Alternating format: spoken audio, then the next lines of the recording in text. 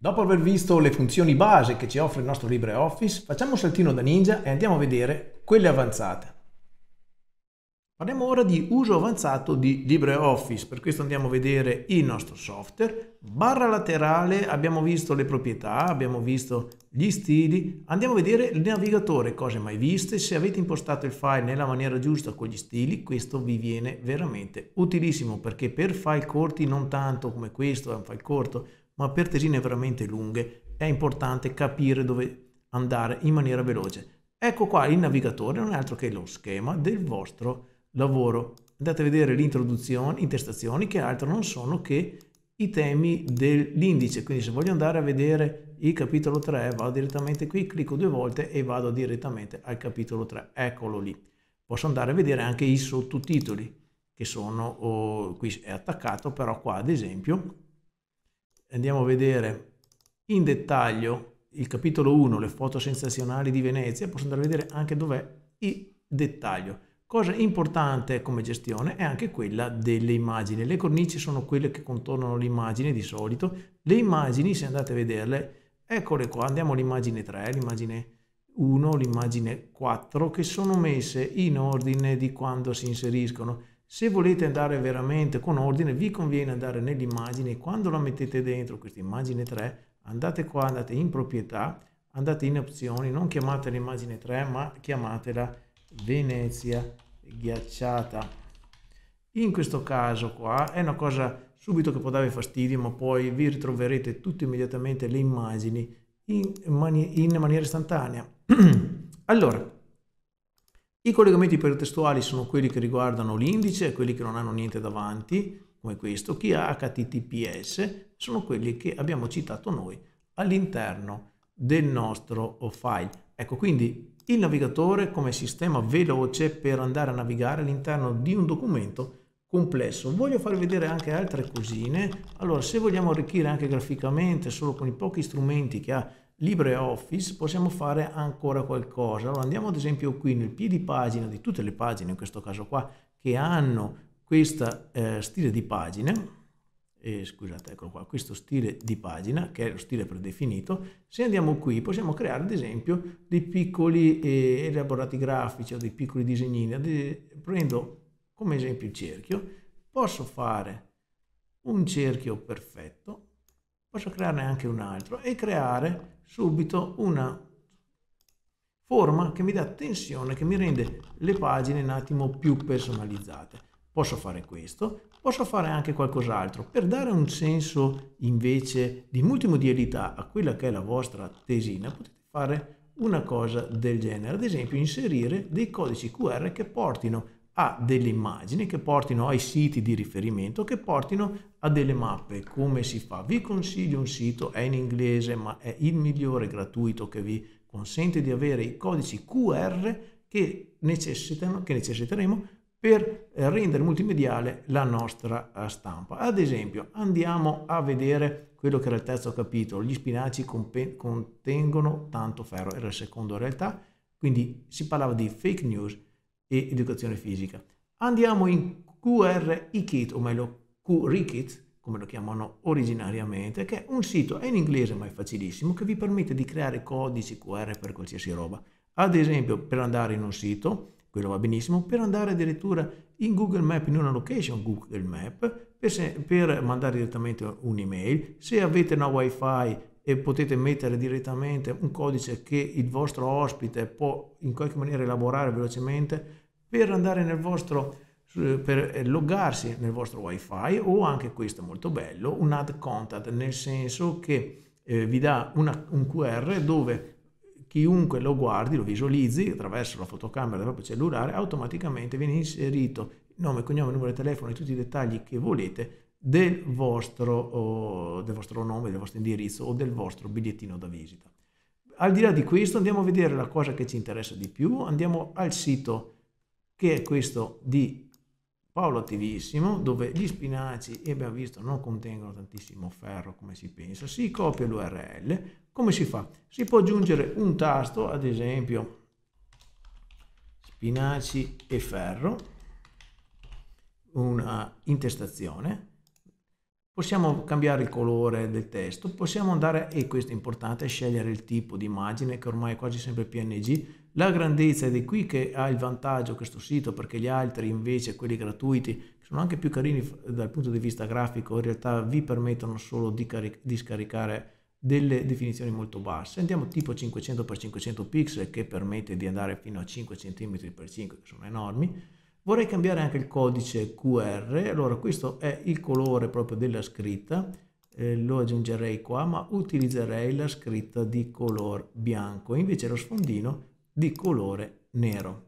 Fatto questo, una volta che ho settato questi due parametri qua, faccio il curate, che sarebbe create, e qua mi viene fuori il nostro codicione che posso fare semplicemente, posso salvare semplicemente qui, posso scrivere QR non arte, ma in questo caso qua posso scrivere educazione fisica. Lo guardo da lì, l'ho salvato, torno a bomba nel mio software, in LibreOffice Writer, e vado ad esempio qui dove c'è la parte finale del, dell'articolo, meglio del capitolo che parla di spinaci. Qui come sempre vado a inserirmi una fotografia, vado qui o vado inserisci immagine, è la stessa identica cosa, odentesina e rimpaginazione immagine DEI 2 e rieducazione fisica, la metto lì, posso metterlo sicuramente più piccolo perché qui è molto invasivo, posso metterlo in qualsiasi posizione. In questo caso qua ricordate che potete dare anche le dimensioni eh, dirette per che riguarda la grandezza, secondo me con 1,5 cm per lato può andare, mm, volevo mantenere il rapporto, dovevo farlo prima, 1,5 anche in eh, altezza, gli do l'ok, eccolo qui, con un centimetro e mezzo si regge bene, alla fine avrete che a fine di ogni capitolo potete andare direttamente con il vostro cellulare a vedere l'articolo originale o qualsiasi altra informazione. Questo perché riguarda alcune delle opzioni avanzate, ma adesso parleremo innanzitutto di come salvare, o meglio come esportare il nostro file in PDF. Una volta che abbiamo terminato, immaginiamo che sia questo, andiamo a farlo, facciamo file, esporta, esporta come nel formato PDF e vi si aprirà questa finestra di dialogo. Due cose molto veloci, cosa vi spiega? Sono delle sezioni. Cosa devo esportare? Tutto il file o una, certe pagine, ad esempio la pagina 12 fino alla pagina 16, in questo caso no, voglio tutto, una selezione, potete selezionare una, prima delle pagine e poi dire eh, di fare l'opzione di esportazione.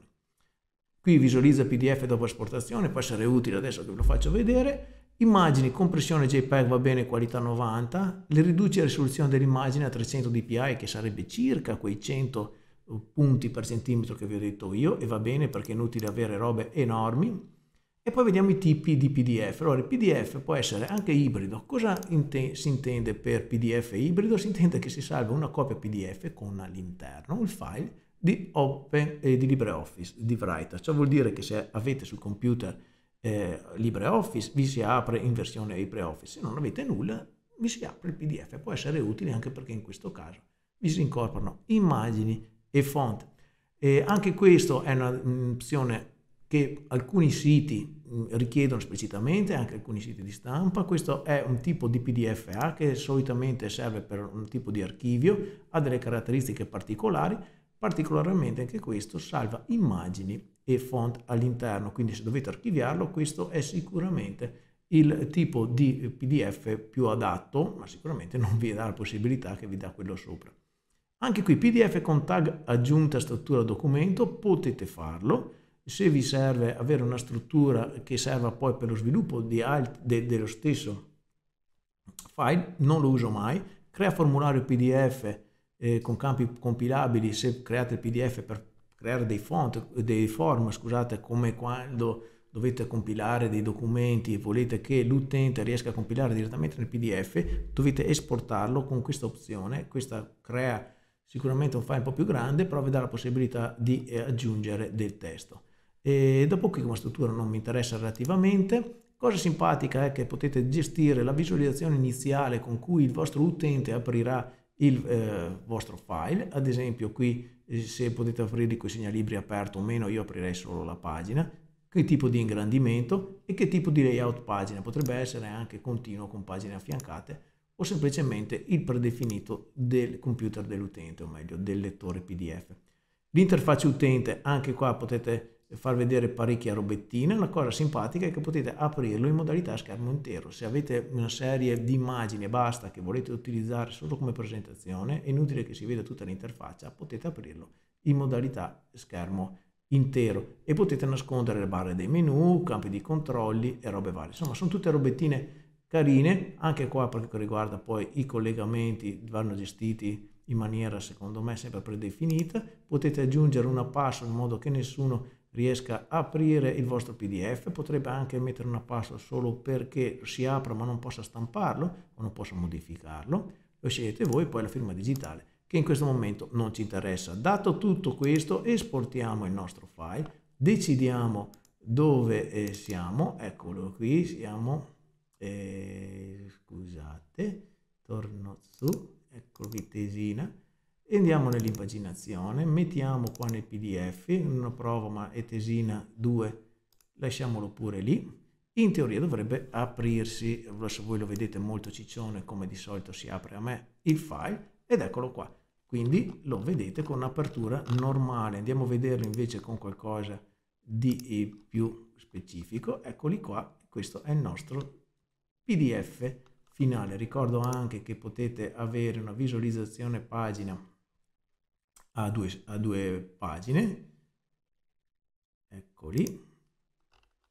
Però se volete vederla invece questo è, Acrobat Reader, il più famoso, perché originariamente PDF è stato sviluppato da Adobe. Se volete vedere questa cosa qua, nella visualizzazione pagina dovete vedere mostra copertina. Allora in questo caso vi apre proprio la visualizzazione libro del vostro, l'equivalente del vostro writer. Eccolo qua, quindi questa è la nostra tesina, è una tesina fatta in maniera semplice. Adesso ci servirà solo aggiungere qualcosa di grafico, quali una copertina reale, più carina, e una mappa.